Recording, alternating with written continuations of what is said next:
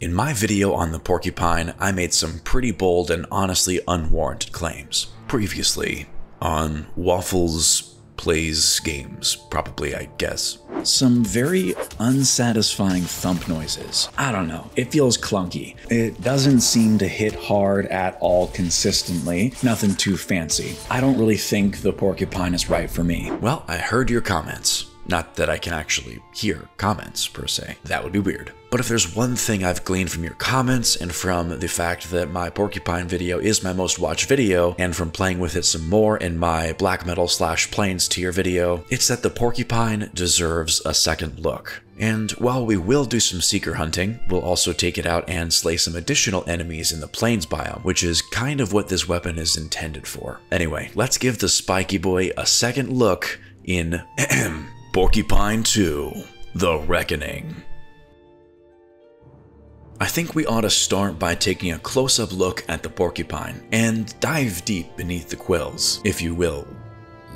On the Valheim wiki, this thing has a pretty fucking awesome description. A deadly weapon bristling with fiendish spikes. Its combination of blunt and pierce damage make it an all-around effective weapon against many enemies. From the notes on the wiki, it's the only black metal tier weapon that doesn't require black metal to craft, so it can be acquired without needing to transfer or process black metal scrap. Kinda nice. It only takes a total of 32 iron to get this weapon to its max level. 32 iron to max it out is practically nothing compared to the 80 black metal it takes to max out the black metal sword, the 120 black metal for the black metal atgeir, or even the 120 silver required to max out the Frostner. And yet, despite the Porcupine's low comparative resource requirements, it still hits hard, and it's a very effective weapon against enemies in the plains especially. While Lox are resistant to blunt, frost, and slash damage, they're not resistant to piercing damage. So if you're lox hunting, maybe take a spear, but the porcupine won't be a slouch with its 63 pierce damage at max level. Fulings, on the other hand, in any of their forms aren't resistant to anything, so the Pokeboy will do just fine there. Despite all the things going for it, I just didn't really like the porcupine much when I tried to use it. But let's put all this theory to the test and slay some stuff to see if the Pokeboy can truly win me over. Maybe spending a bit more time with it will give me a better idea of why this weapon doesn't really resonate with me so well. Time for some practical application. And by practical application, I mean murder of bugs.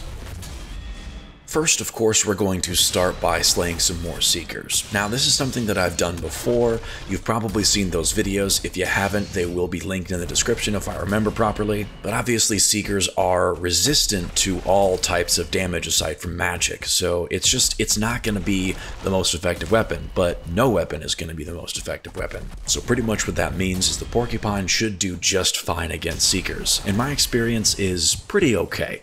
I don't love it, but I don't dislike it it. It's just never my go-to. And I think the best way to really articulate why I don't like the Porcupine in the Mistlands is for some strange reason I have trouble hitting ticks. I don't understand. Maybe it's the hitbox, the way that it swings. I'm not sure exactly. But for some reason, I really struggle with ticks in the Mistlands with the porcupine. And you'll pretty much see a good example of that here. I take a potion right here and I start to really get enveloped in absolute chaos. It amazes me how quickly this simple Seeker Soldier fight turned into a battle for survival against three Seekers, a Gjall, Sky Jellyfish, and multiple ticks all attacking me from multiple angles. Yeah, it's just, it was just pure chaos. And so I broke out the shield and, yeah, took a bunch of potions, 22 health, straight up not having a good time once again. Tried to get my stamina back, I popped a bone mass, and yeah, I just, I tried to fend off all of these ticks, all of these seekers, with something that I just didn't feel was up to the task. But that's me. As we know, the porcupine should be completely 100% up to task, and I think realistically speaking, the only issue I'm having is me. It's just me not being too familiar with it, but that's the whole point of me making this video and all the other videos of me testing weapons in the Mistlands and beyond. It's just me trying to get comfortable with the uncomfortable, familiar with the unfamiliar. With this battle, it's I'm just really struggling, but yeah, I, I turned around to face the enemies and they just they kind of just destroy me.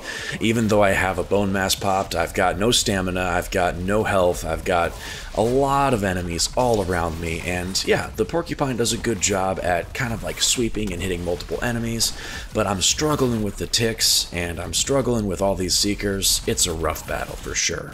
I'm gonna skip around just a little bit, but I'll keep in the highlights. I managed to take out one of these seekers that was low health, and a tick decides that it wants to hug my neck, while another one decides to imitate being a hat. It was kind of annoying. It took a lot of effort and a lot of time, but eventually I was able to kill all of the ticks and the seekers, and it was just me, a lone seeker soldier, and a very persistent sky jellyfish that was continuously dispatching more ticks. I really needed to regain some stamina, so I kind of just walked around for a little bit, and at one point I did kind of walk outside of the battle just so that I could just gain my composure, gain some health and stamina back. But I wasn't gone for long. I came back and I wanted to, you know, finally finish the battle with this soldier. And of course, ticks are always a problem. it just never ends with them but at least the Sky Jelly was kind of leaving me alone. Now in this video, we're not going to spend a huge amount of time slaying Seekers. That's just, that's what all the other videos are about.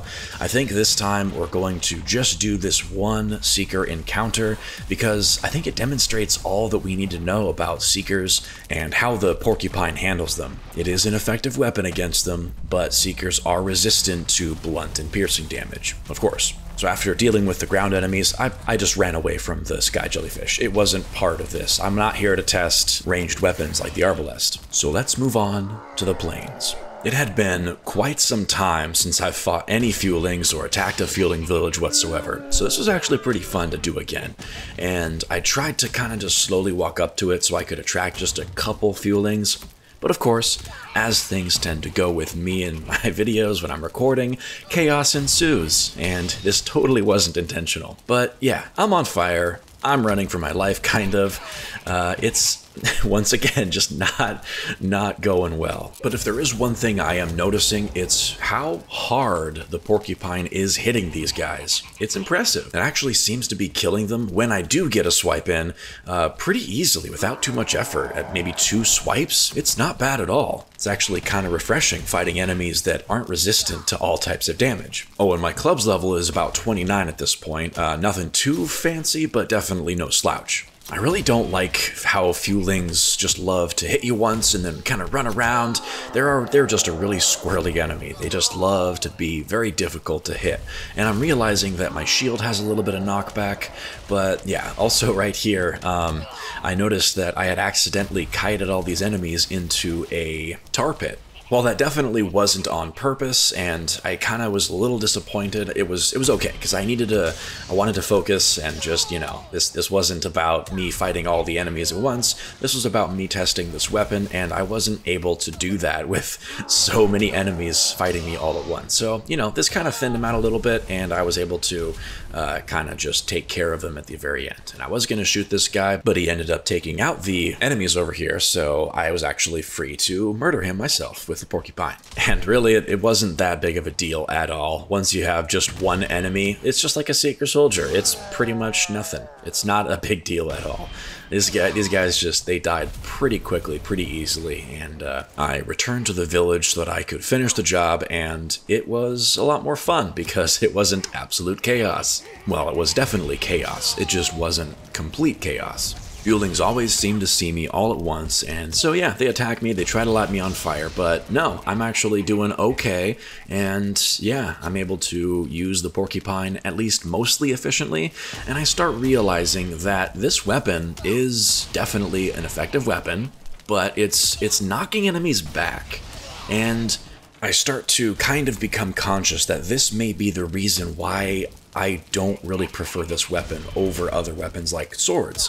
Because of that knockback, I am unable to get a normal three-hit finishing combo on these enemies. And, you know, it's you saw that right there. It just knocks them back. I can't get the second swing in there. At least in that scenario, I was able to get the third hit, but I did miss the second hit. And I think that is an issue for me at least. But let's go ahead and just take care of the shaman real quick, and then we'll make sure the village is clear, and then we'll move on to the next one. Oh, yeah, definitely not clear. We still got this little tower right here, so let's go ahead and just take that out. And uh, these these ladders, let's just talk about them real quick. These ladders are dumb. Why do you have to hop up top of them? That doesn't make any sense. There needs to be better ladder mechanics in this game. Come on. but yeah, let's just go ahead and hop up to the top of this one, and we got one more fuling, but hey, look, he's a one star. But of course, that's no problem. One backswing, and he's off of the tower, at least, so I didn't bring my feather cape or I would have jumped off from the top, but let's just go ahead and uh, finish this village off, and uh, yeah, let's move on to the next one, shall we? I tried once again to only aggro just a couple of these fulings, and this time it was successful. I guess they were along the edge a little bit more, so this wasn't too big of a deal, this Berserker right here. I just, you know, of course that was just a miss. I'm usually a little better at my parries, but there's only two enemies right now, and they're not a big deal. I can pretty easily just kill them with a couple swipes. I do like how the Berserkers don't get knocked back, so I can actually get my three-hit combos in there. I don't get a whole lot of time to rest, but I guess I don't need a whole lot of time to rest after that easy battle. These other fulings decide to try to, you know, end my life prematurely, but they were just no problem. Even just two hits takes them out, and that's pretty impressive. Somehow I was able to kind of sneak up on this one, but I just I missed the backswing, and yeah, it's just it seems like a consistent theme that two, maybe three hits is killing all of these fulings, and yeah, I'm wearing Carapace armor because I don't want to die, but this isn't a test of resilience against fuling attacks. This is a video about me testing the Porcupine against fulings, and my skill level's about 30, 29, 30, something like that. Uh, yeah, and as you saw, um, so I did try to attack just a few enemies, and now we've got a whole bunch attacking me.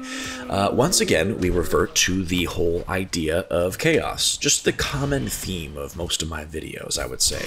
I'm taking a lot of hits, and everything is just, you know, scattered around me. There's so many enemies, and they're always surrounding me, and right about here, I I get down to practically no health, 28 right there. It's, uh, it's, uh, yeah, it's not great, so I run away for a little bit. I don't go too far, but I decide it's bone massing time. The fact of the matter is, enemies in this game aren't necessarily hard. They're not difficult when you have them alone or even maybe groups of two, but when you have things like this going on, when you have multiple berserkers running at you and, you know, you can slowly whittle them down, but everybody's trying to kill you all at once. And fulings, they just love attacking you from multiple angles. I feel like maybe the devs have coded them so that they actually intentionally surround you. I think that's actually a thing, but I'm just guessing here. I'm gonna skip around just a little bit because, you know, how it goes. I walk around for a little bit, just kiting the enemies around, trying to get my health and stamina back and it goes okay. It's just, it takes a long process, and if I were to do completely uncut, that would be an unnecessarily long video.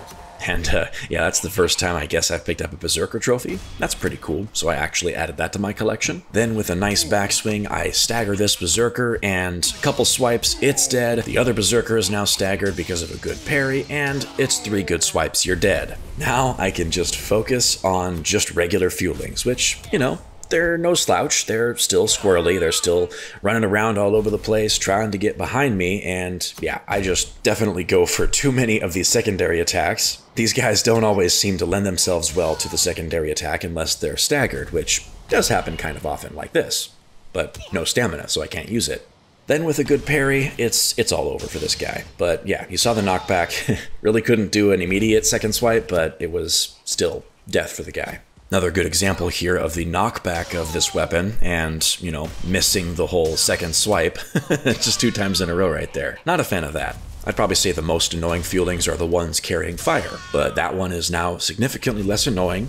I moved into the village and quickly took care of the guy in the tower, then it was a simple matter of dispatching the rest in the village. I'm just gonna speed it up a little bit so that we can get through this because this video is already long enough and these battles were just repeats of what you've already seen. After putting up a pretty good fight, the remaining fulings in this village were no more. I realized that I had forgotten to fight a Lox, so I just spawned one into the arena, so let's go ahead and uh, get the fight on. While they're immune to the blunt damage, they're not immune to the piercing damage from the Porcupine, so I noticed that it wasn't taking too much effort to bring this guy down to low health, and it was parrying, even without a shield, perfectly fine uh, when I got the timing right. And uh, yeah, a little teaser of what video I'm kind of working on right now. All the shields displayed nicely. I don't know when, but that video will come out eventually. And yeah, this jerk decides to slam everything, and look at that. Everything's ruined. What a jerk. So after taking a good, thorough second look at the porcupine, what do I think? Well, there's no doubting it's a great weapon, especially for the plains biome. But I think I've at least kind of figured out why the porcupine has sort of put me off in the past. The porcupine has a knockback of 90, while the black metal sword has a knockback of 40, less than half. I was having so much trouble getting 3-hit combos in because the porcupine and seemingly all maces and clubs have high knockbacks. I was used to enemies staying put and letting me finish my deadly 3-hit combos but the porcupine wasn't letting me do that. It was killing fulings perfectly fine because of my club's level being around 30, but the knockback made it difficult to get in a full 3-hit combo. Knockback can be a very helpful thing, especially in tight situations where you have a swarm of enemies all around you, but it does limit your ability to deal damage if you're constantly just pushing things away. It can be crowd control, but it's not great for just handling enemies. At least that's my experience. Your mileage, of course, may differ and let me know if I'm completely wrong. So that's pretty much it. The porcupine is cool, but I think for me, it's going to have to stay primarily a display piece back home. Thank you all so much for watching and for all the love lately. I'm having a lot of fun making these videos, and it seems like you're enjoying them just as much. So thank you for all the fantastic feedback. It really, it really means so much to me, so I appreciate it. If you want, you can do the whole liking, commenting, and subscribing thing if that's something that strikes your fancy. Thanks for watching. Have a wonderful rest of your day.